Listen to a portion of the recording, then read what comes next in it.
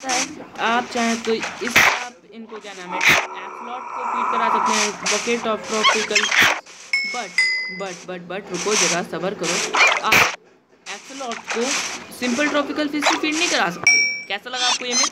ये सब्सक्राइब कर लो ये चैनल अच्छा? है